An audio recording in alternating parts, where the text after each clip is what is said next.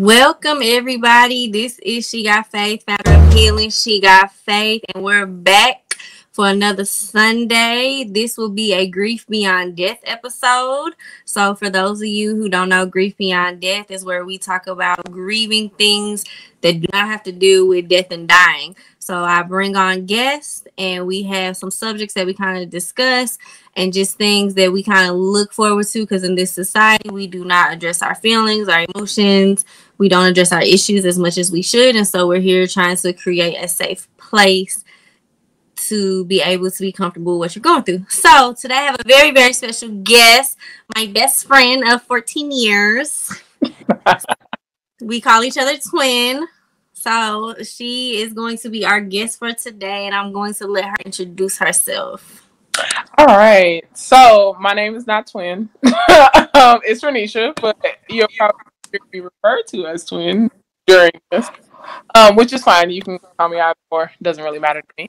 Um, but I am a sexual educator by trade because that is what I do. Um, but by education, I am technically a um, so actually I got of work work in sexual reproductive health rights and justice. Um, that is something that very hard that I. Uh, so I predominant middle and high schoolers, but sexual health. I also teach classes around emotional intelligence and emotional regulation for the younger students. I can do it with other students as well. Um, and something that we do discuss with our younger students. We try work that in, especially because of the populations that we serve. They definitely see a lot of violence, a lot of death. Uh, is not something that any child that age should have to deal with, but we definitely want to make sure that we give them the tools to deal with it the best way that they can. Yeah. So as you can see, we're both very active in the community. So she's a public health professional by trade, a sex educator by trade. I'm still your community social worker. So whenever we bring a guest on to Grief Beyond Death, we always ask, can you name a time that you were grieving, whether that is dealing with death and dying or it doesn't have to deal with that, but just kind of a, a time that you grieved that stuck out to you and how did you get through that? Hmm. Um, think oftentimes when we think of grief, we often only think of grieving someone when grief can also extend to grieving something. Uh, so for me, I think the moment was when I not be which you know more about that, but it was just kind of the realization that that is not the best path for my life so it definitely required me to take a step back and realize, well, what is the path for my life? Because that was something that I had held on to since I was five years old. I decided I wanted to be a lawyer. So we're talking a good 20 years of thinking that going to law school is eventually going to be where I ended up. Right. And when you have that realization that that is no longer what calls to you or like really inspires that passion in you, it is definitely something that can be a tough pill to swallow. Uh, so the way that we worked through it was just having conversations. I mean, I talked to therapists about it, I talked to my family and friends about it, and then I just really had conversations with myself about why I wanted to go to law school in the first place and why now I feel like it is not the place for me to be, which is how I ended up going to school for marriage and family therapy and sexual therapy instead of because that is more reflective of who I am and mm-hmm. I want to serve my community. But getting to that place definitely took some time. So I it, it increased my awareness in that sense and it required me to be really honest with myself and mm. not try to fulfill dreams that I that seemed like other people had plotted for me mm. and I mm. kind of stayed on the course of. Right, right. No, that's good. I'm glad you brought that up because we haven't had a guest talk about um uh, actually like grieving something that wasn't a person or something that wasn't death. And I do get it because that's the culture we're taught, right? When you grieve, it has to be death. It has to be a person. Um, I think we even talk about divorce as far as grieving, but to actually say that you grieve like this dream, like I had this dream of being a lawyer, I had this dream of going because of everything that I've been through, and then so one day realize, man, that ain't even what I really want to do. Like, so and I think you know can you kind of walk us through like what did those conversations look like? Because obviously if like if there's been a dream since you were five i know you had some people that was like what you mean? You not gonna be a lawyer? Like what are you talking about? Like how did those conversations go and what did it do to to your mind body and soul? I still to do that. Um, i have like extended family members that always well, when are you going to be a lawyer? Or I have friends I haven't seen in a while that do not know about my change of career that ask me that question. So I I decided I wanted to be a lawyer when I was like five. I had an uncle lawyer. Um, I found out later, not technically by education because he didn't necessarily have the education for it. He was more self-taught. Um, he's very good. but I I would help him out doing his legal cases that he would do for people, and that like finding law that help you defend your client to the best of your ability was something that was just really fun for me, and right. was also challenging because I mean I was a kid. but as I got older, I definitely kind of stayed the course, and I mean I developed other interests along the way but law was kind of always in the back of my mind as this is what I'm going to do. Right. Uh, so when I got to undergrad, where I studied Asian languages and literature, right, uh, with the focus on Chinese, but that was more of the I, I was in middle school, but I was still in law. so a lot of people didn't know that, but I was still in pre. I was in a pre-law society. I took pre-law classes. I was still planning to go to law school um, even though I I knew take some time off, I just did not know how long that time was going to be.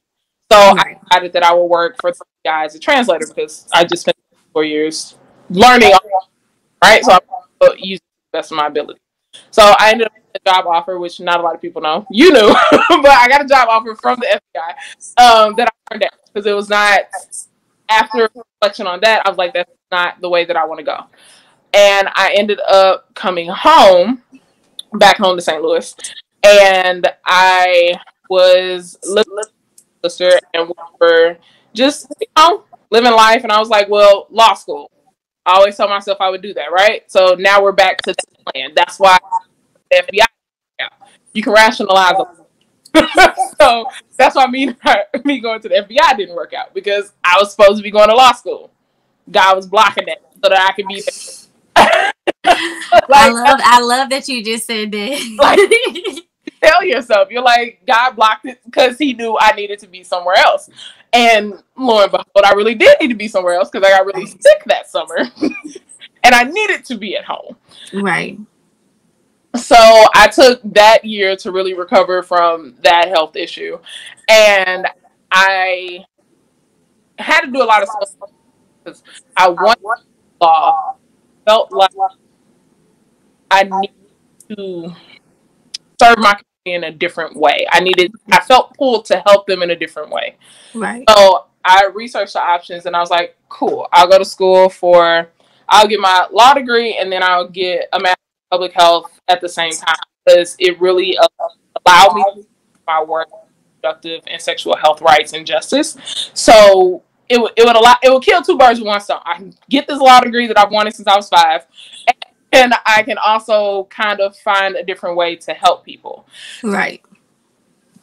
I ended up not getting accepted into the law program at SLU because for you to do that degree, they want you to focus on health administration and policy. Mm. Not what I applied to go for. I wanted to go for maternal and child health, global health. Um, so that was more of a conversation of just saying, mm, it's not what I want to do. So I turned down the law degree again and continue with my master in public health. So I finished that. I started working at the organization that I work at now as a sexual health educator. And I've been doing that for the last three years. So, about a year and a half, this urge to go back to school for something came back. Right. And I did not know what it was. I knew I wanted it to be something that would help to change in my specifically with African of color. So naturally, because of the people that we serve in the organization that I work for, we interact with predominantly of color, specifically African Americans. It's majority African Americans that we serve. Um, so I saw the effects that the legal system had people that we serve, which African make up a huge portion of people that are served by the legal system, but they do not have the knowledge of what the legal system is and how to use it. Right? okay, that's just kind of the validation that I needed that I need to go and get this law degree. Right. Again, rationalizing things. so I started studying for the LSAT and I there for seven or eight months or so. And then I was presented with an opportunity by my boss to essentially be kind of a therapist, uh, kind of a counselor or a mentor more to a group of young girls at a middle school that we at. And right. they have been dealing with violence. They have been dealing with some sexual health issues. They have also with uh, traumatic experiences at home as well as bullying. Okay, so I found out that I was going to be dealing with essentially a problem girl. Whereas my other coworker was essentially going to get the girls that were more like the bullied girls. Um, so I spent seven weeks with them, right? So I'm not I, at this point. I'm not even thinking about going to school to be a therapist or a counselor. I really have no training on what that looks like outside of me going to therapy for. Right. So I tapped into most of what I learned, uh, and even, I mean, kind of the social part of my job kind of leads into that counselor therapist role, but not necessarily. Right. So we, I kind of built a curriculum specifically girls and the issues that they were dealing with, and that was rewarding I had ever in this position that I am in. I teach well all day, and I love it. I really do. But that was the most rewarding experience that I ever had with those girls because two of those girls that I was working with had already fought each other three times. Okay. The principal put them in this group because she literally had no other options. At this point, if they fight again, they gotta go. like there's no there's no saving them at this point. Right. She's she better with try to talk to the family and sent them the alternative for um month or so. Um, but she's like, I, I don't have any other options for them. I cannot continue to allow them to present this behavior in my school and let that be a representation to the other students that I serve. Right? So like just see see what you do with them because I, I don't have so ended up just having honest conversations and at the beginning of it it was very clear that they did not like each other but they also made sure that they did not interact with each other Mm. So they would always use like this this girl that I know, she does X, Y, and Z, or she the hoe, or she she a thought. They would they would send all these subliminal messages to each other, which I never really I didn't know the background at the time. She had told it to my boss, and my boss did not inform me um, of that information. So I worked with them and we really worked on anger. We worked on some mental health issues. We worked on ways to control our emotions. And it required them, because a lot of the that I gave them were more reflective assignments. It was more writing assignments and things that they really needed to figure out their emotions, right? So majority, actually, majority of the girls at that time had some type of. Whether that was a parent, a parent that was in prison, a parent that was dead, that was being sexually like uh, they all had some type of experience that they were going through at home. Um, and these two girls, one day their issue just kind of came to a head, and I ended up really having to like play mediator for these two. And the issue that they ended up having was not it wasn't as serious as they thought it was. If you can think back to when you were in middle school, you think about that had with people, that was what their issue was. So it, we we ended up talking about it, and the sessions kind of left off with them still not really interacting with each other, not talking uh, much, and then we went on winter break. So I got an email from the principal just like thanking me from all the things that we did with the students, and she hopes that we can continue this relationship. So come the next semester, I received another email that she wanted us back to school to work with a different set of kids. Cool. So we get back into school. I'm working with the different set of kids, kind of, um, and we're just talking. And she comes in to sit in on one of the sessions because, unbeknownst to me, she had a lot of positive reviews from the girls that were in the group with before. So they were just talking about that really helped them, and she wanted to continue it because she was like, any of these girls say that, and their behavior had changed. Came back from winter break. The two girls that were always ready to fight each other, they were actually friends. Right. They talk to each other now.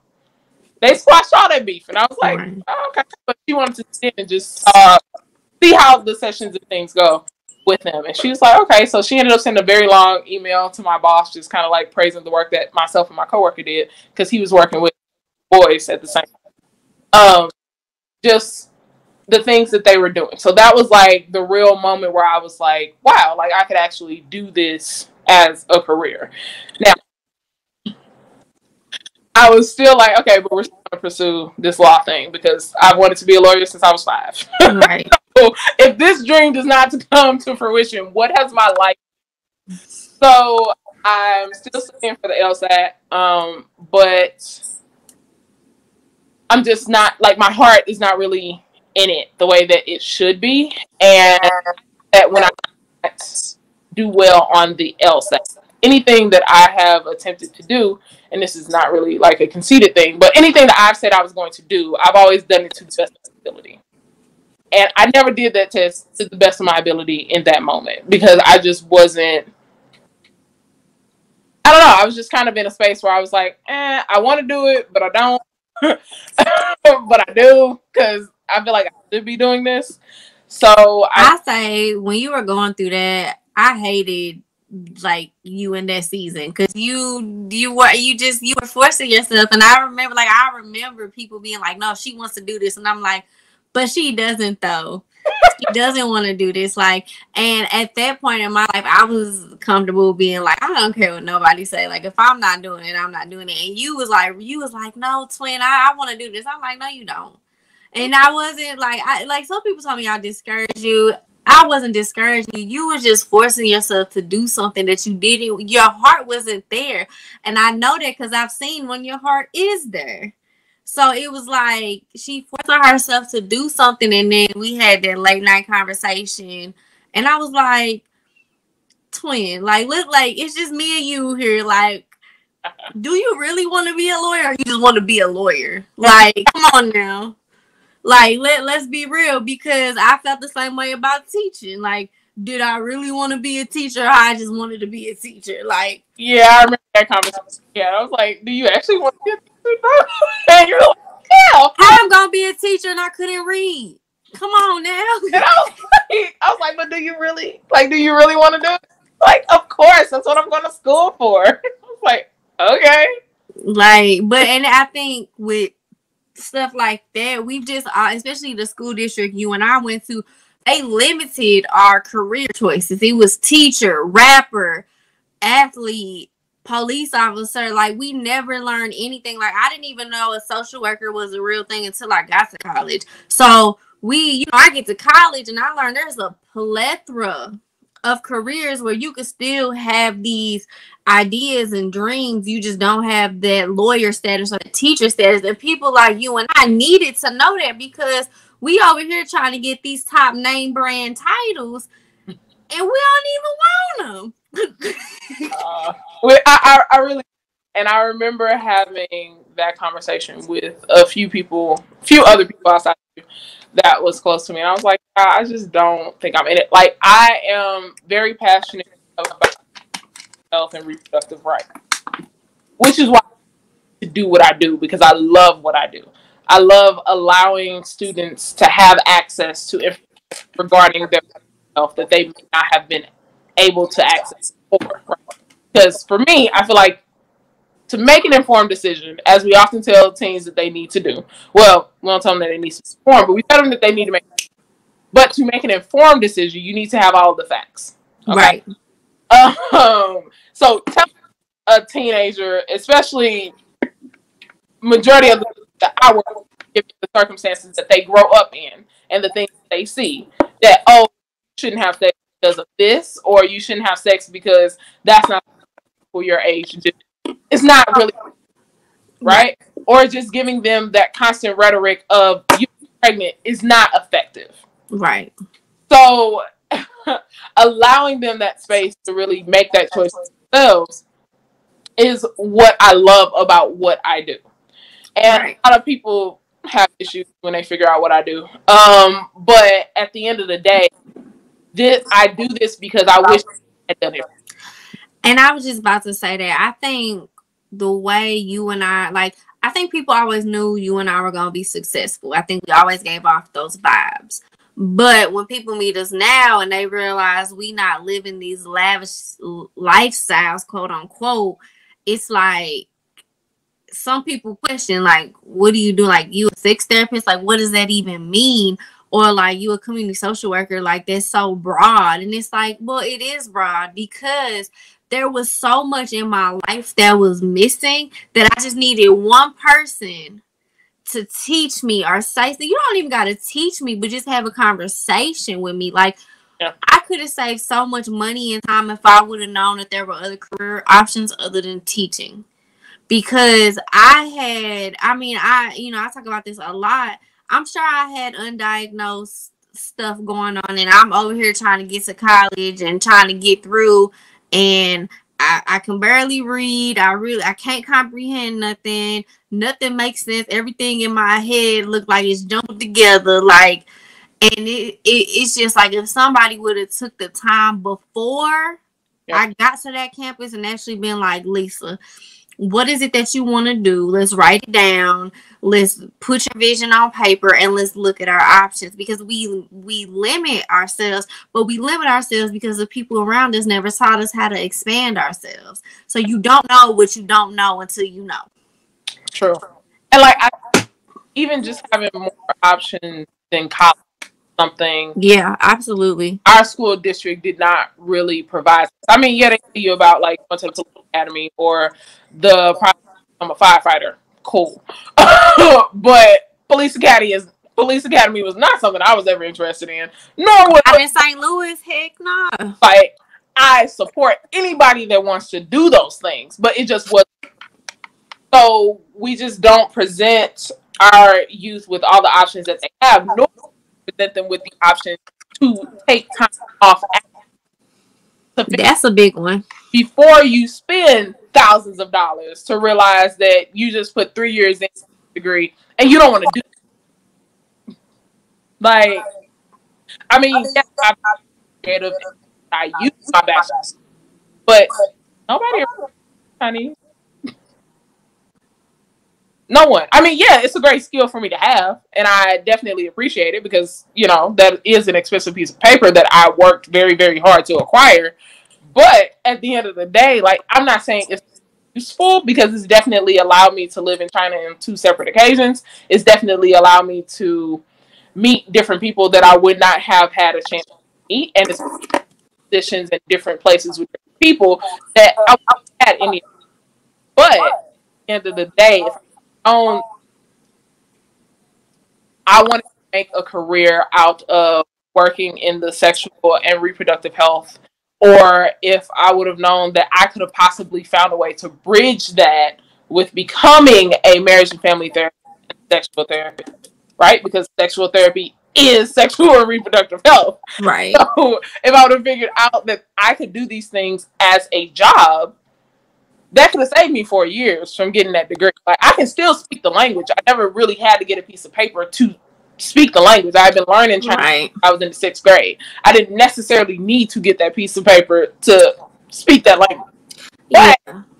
I, no, I think I think that's a good conversation to have too because like even today I was talking to somebody and she's getting ready to go back to school and I referred to my degree as a piece of paper. She was like, "Girl, that's your degree." I said, "No, it's literally an expensive piece of paper. Like everything I'm doing, I literally did not need to go to grad school and spend hundred thousand dollars on a piece of paper that is not even hung up in my room. Like it's literally under my bed somewhere.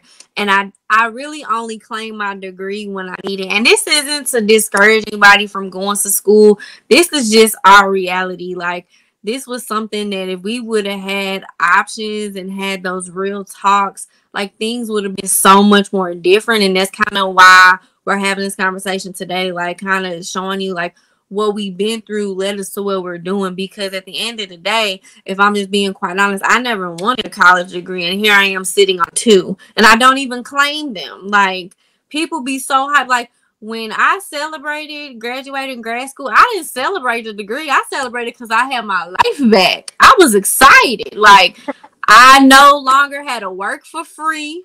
I no longer had to do no homework. I no longer had a long day. Like and and I could focus on my health because what we don't talk about to our youth is school can damage our health as well, mentally, physically, emotionally. Like at the prime of our life, we sit in a desk for eight hours. Yeah. Like and we struggle with too much obesity, we struggle with too much depression, anxiety as a society that it's like we really don't take the time to really invest in our youth and then we wonder why things are the way they are. Me I don't I don't work with the youth only because there are more resources. I tend to work with high schooler and college age people just because those are the people that like society tends to be like they grown, leave them be. And I just don't feel that way. Like I feel like we we still need to invest in them. Like if a 15 year old, we can still help them. A 25 year old, we can still help them. But and a lot of times I meet these older students that are like, I just needed somebody to listen and just think, what if we just all just started listening? Yeah. If we all just started listening, like how how much different would the world be?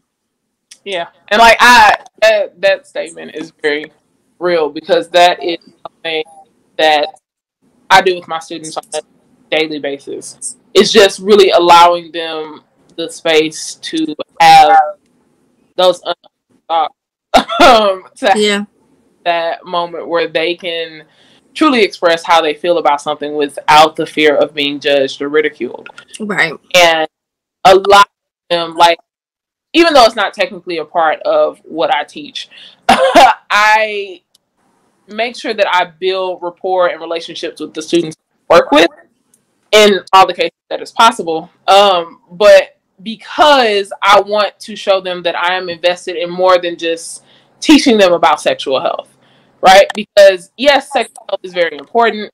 It is very important to understand everything that goes in, not just, but also aspects along with engaging sexual activity, especially before you feel like you're ready, right? Right. So oh. I want to make sure that they know outside of that, I care about who you are. Exactly. So when it comes to working with my students, like some of my things, if you, I just do check in when my classes start and it's just how y'all doing? Like before we really dive into this information, uh, especially if I know that that information is going to be a trigger, this is just time for me to let anybody know because again, I don't ask for their personal history. Um, just to let them know that some of the information that we're going to talk about may trigger something in you, right? But it also is a way for them to say, "Oh, you remember that test that I about that I was afraid I was gonna fail? Yeah, I failed it. And it's like, okay, well, what are we gonna do about it? Because an F is acceptable. I mean, unless you're okay with that. And it's like, why would I be okay with that, Miss Renisha? I was like, well, I mean, you seem like you accepted it, so I'm just asking. But you know what? that was me. A F was fine to me, you know. So I and I needed that space to be like, y'all really pressing me about some tests that it really don't mean nothing to me. Mm-hmm. And to have an adult say like like have an adult be like, well, why doesn't it mean anything to you? And I could be able to say, because when am I ever gonna use A plus B equals C? Like what? Like what does? Like I, I'm trying to, I'm, I'm trying to figure out how how I have food on the table tonight. Like what is this test gonna do? You know, and that's a lot of people. Like school, just to me, school took away so much more than what we talk about. And so for a child like me, I really needed somebody like you and me to be like, Lisa, like, like this don't got nothing to do with school. Mm-hmm. And it and it and it and it didn't. Like when we were taking those AP tests and we were taking ACT and I was failing and people like you so smart though, but I don't care about these tests. Mm-hmm. It don't matter how smart I am. If I don't care about that piece of paper, I just don't care about it. Yeah. And like that, those are the conversations that I have with my students because we have to what we don't pay attention to with our students is that they have things that happen to them outside of the classroom. Exactly. And when you do not acknowledge that you in a sense do not acknowledge them.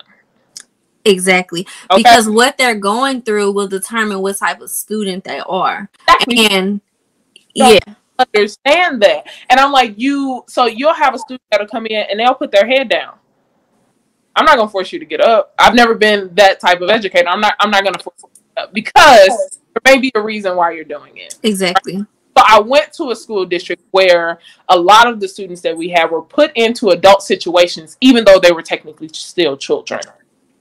We had that were working two and three jobs to pay their parents' light bill, to make sure that their siblings could eat, to make sure that they still had a home to go to. So there may be a reason why that's their head down. They may have a child. Because let's be honest, a fair amount of them do. They may have multiple kids. And they not only do they have multiple kids, they are taking care of their siblings. Their parents might be incarcerated. They might have just watched one of their parents be incarcerated. Exactly. So we as educators, we come in here sometimes we take what students do so personally well, really, it don't got nothing to do with us. And that's for me. Like I, you know, you you know my career history. I used to get cussed out all the time. And yes, I let those kids cuss me out, and other teachers will be like, "Why?" I'm like, "Because they're not mad at me." But imagine I let them have their tantrum, and then ask them, "Are you better now?" And imagine they open up, and I finally figure out what's causing that. I had a young man who couldn't read. He really couldn't read, and so he acted out in class. And so one day I pulled him aside and said, "What's what? You know, you don't like being here because if you don't like being here, I can unenroll you from the program." No, Miss Nolan, it's not that. I get embarrassed when y'all ask us to read out loud. Oh, so now I'm gonna invite him to come sit down with me and we're gonna have this conversation because now he just told me something. Yeah. Okay, so now he's been struggling with reading. So yeah, in order for him not to be forced to read, he acts out. So it has nothing to do with me. It has nothing to do with a lack of respect, but it has everything to do with his self esteem being so low because he doesn't know how to read. Which, as an educator, now that I know that, now I can provide him with the resources. Now I can actually go up to his school and talk to his team and say, This is what I found out this weekend. Because while y'all have him Monday through Friday, I have him on the weekends. So now I can partner with you guys and I can let y'all know that he's not being disrespectful. He's trying to figure out his place in school because he knows that him not being able to read is not acceptable in life. And he's trying to figure out if I don't even have the simple tools to read, how the heck I'm gonna survive outside these classroom doors. Yeah. But we as educators, some of us we lack that not like we don't want to think that deep. We want the kids to come in, sit down, be quiet for eight hours. Yeah. And that's just not realistic. And it's it's detrimental to who they are as people. Right? Because even as are becoming and even when you get into adult when you work that job you have things that happen at that job that affects your ability to do your job. Right. So if we are understanding of that as adults, why don't we think teens go through the same thing? They live in homes with adults that deal with the same issues. A lot of the teens that I serve live in low socioeconomic areas, high crime areas. right? They live in areas where I mean, granted, I grew up in the same area, so I get it. But they live in areas where they see unimaginable things on a daily basis. On a daily basis. But we have that mentality of a child needs to be in a child's place, but we're not giving them the space to be in a child's space. No, they, they don't grow up in an environment where that is sustainable, nor can they survive. Because a lot of them survive. So I'm attempting to survive. It's very, very hard when I have to work two jobs, make sure my siblings eat, make sure the bills that we have. I mean, but now I'm going to school and y'all but I can and cannot wear, who I can and cannot talk to, what time I have to be done with this, what assignment turn in, when I didn't have time to do any of those assignments because I had to make sure that my little brother or sister got on the bus this morning or they had something to eat. And then y'all talk about me because my mama can't show up to the PTO meeting. Yeah. So what am I doing here? But right. what you don't know is my mom is an alcoholic. That's what y'all don't know. What you don't know is daddy just got incarcerated last night and mama back to doing what she do best, okay? Right? Like and you just and it's so it's so crazy because I'm like and I see it because I work in a lot of in this area. So I the teachers, right? Like don't being a teacher is hard. It's very hard. That's why I would never I would never be hard right? And it can be really, really taxing, especially in certain school districts, just because of the limitations of that school district. So when you have teachers who do not make an connect with students any real way, and unfortunately, a fair in the school district I work in work with predominant African American children but they are not African American themselves. Okay, so which is not necessarily an issue, but when you don't take time to recognize things that your students are facing, how can you effectively teach? How?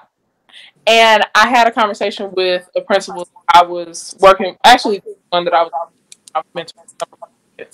But I had that conversation with her, and I'm like, a lot of my students complain about this one teacher. What what goes on in this classroom?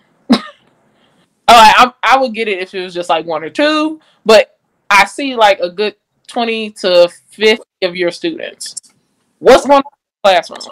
Why don't nobody like this teacher? And she was like, I don't know. I was like, well, do you mind if I go sit in the classroom? Like, I just, I just really need to understand because a lot of our check-ins was just really around that teacher sucked.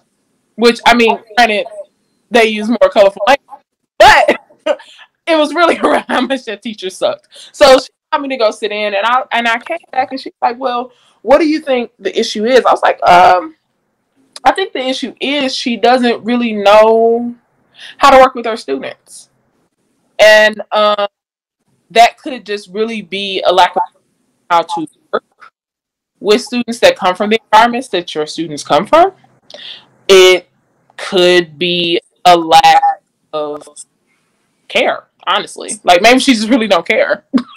um, I don't know. I, I didn't ask her. I mostly just sat there and watched.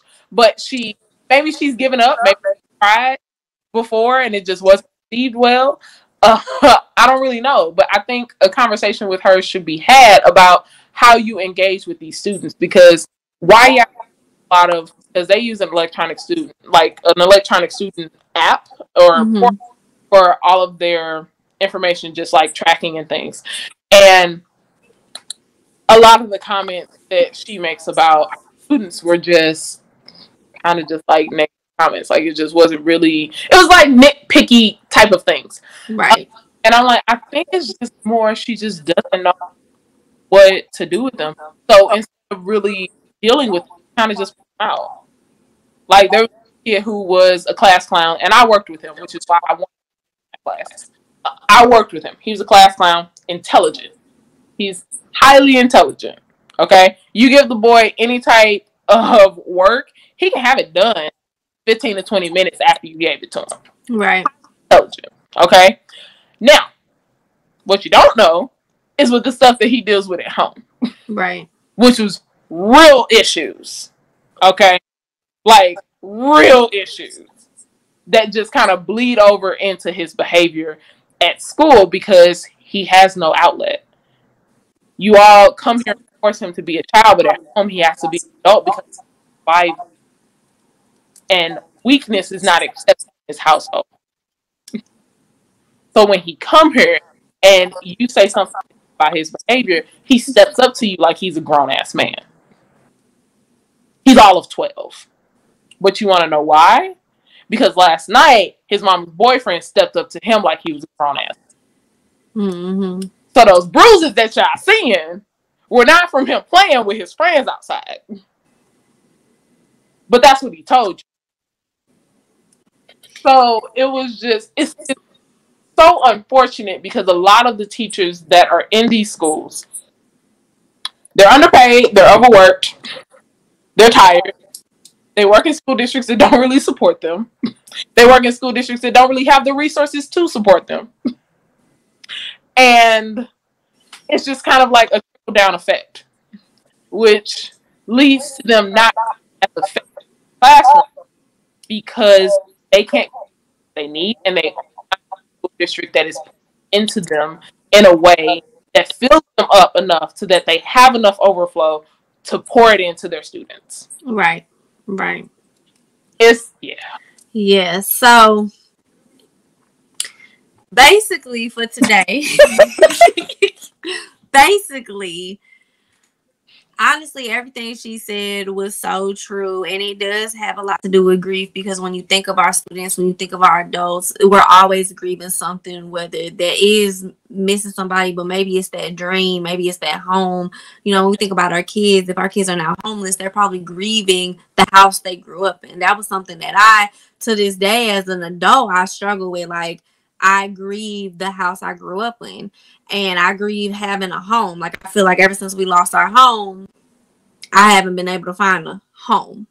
So when we look at stuff like this, we really just gotta keep in mind like everything that we see on the front isn't what it is. And when we're working with kids and we're working with people in the community and we're working with just people in general, we have to learn to just be quiet and let people say and do what they need to do. Because at the end of the day, we don't know people's stories. So, um, we will have a part two. We both actually have a podcast called Side Note.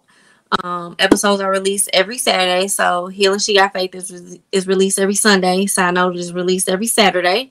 So we will come back. We will do a part two where we kind of are going to give you guys a snippet, like a live visual of how we record, which is going to be interesting because because healing she got faith is very much serious and side note is very much goofy.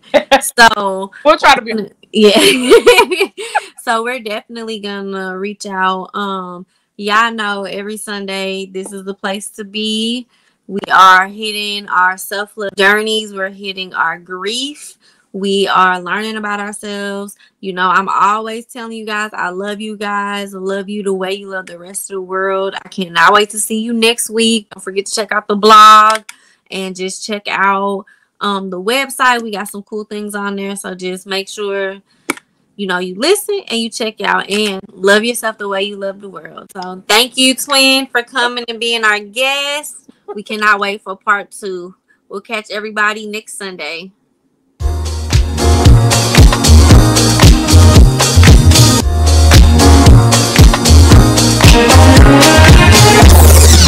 Wow.